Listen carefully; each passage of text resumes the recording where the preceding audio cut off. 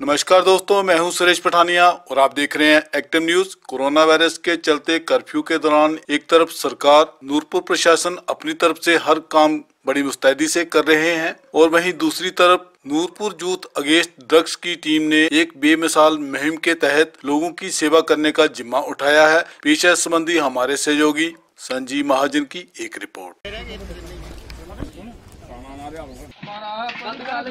करती यार।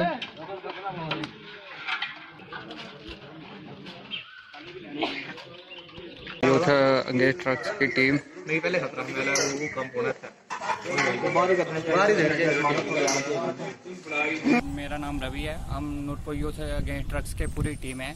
हम, आज से 11 11 दिन पहले हम ये हमारे एक मुहिम छेड़ी थी लोगों के बीच में जाकर।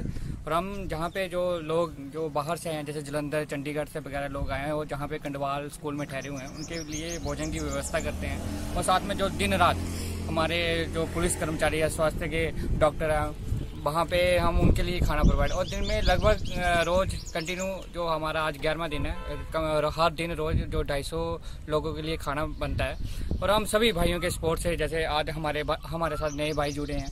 इनकी भी एक संस्था है, उनके थ्रू आज हमें सामान प्रोवाइड हुआ, उनके थ्रू आज हमने 250 लोगों का खाना बनाया और लोगों के बीच में बांटा।